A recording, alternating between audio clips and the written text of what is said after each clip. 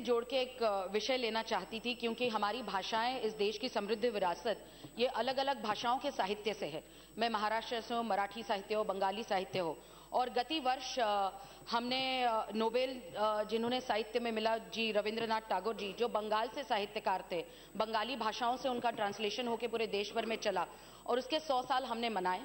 मैं इतना पूछना चाहती हूँ आदरणीय मंत्री महोदय को आपके तरफ़ से, मैडम, कि ऐसी कोई हमने हाई क्वालिटी ट्रांसलेशन का विचार किया है, जहाँ पे पंजाबी हो, गुजराती हो, मराठी हो, ऐसे बहुत सारे साहित्य है, जिनका ट्रांसलेशन हो सके हाई क्वालिटी ट्रांसलेशन जिसका काम साउथ एशिया में और पूरे जग में जिसका प्रसार हो, क्योंकि 100 सालों से 100 साल के बाद कभी किसी साहित्यकार को हमने उस पटल पे देखा नहीं।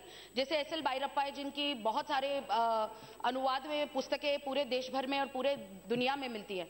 ऐसे हमारे बहुत सारे साहित्यकार हैं, युवा साहित्यकार हैं।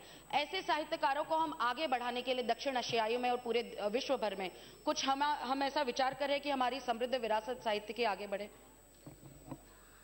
महोदय, आपके माध्यम से मैं आदरणीय सदस्य को अवगत कराना चाहती हूँ। एक तो कि जो विलुप्त होती भाषाएँ हैं, उनमें से 520 ऐसी भाषाओं को हमने चिन्हित किया है, जिनमें से 70 भाषाओं पर वर्तमान में बहुत ही अग्रसर तरीके से हम लोग काम कर रहे हैं।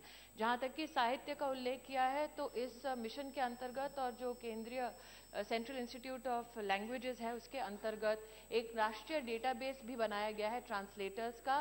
साथ ही हम लोग जो विलुप्त होती भाषाएँ हैं अथवा जो कुछ ऐसे साहित्य हैं जो विभिन्न भाषाओं में उपलब्ध कराने का प्रयास भी किया जा रहा है और अंतर्राष्ट्रीय स्तर पर इन्होंने भैरप्पा जी का उल्लेख किया है। तो ये मेरा सौभाग्य है कि हमने प्रस्ताव रखा है कि भैरप्पा जी को हम राष्ट्रीय प्रोफेसर के रूप में नियुक्त करें।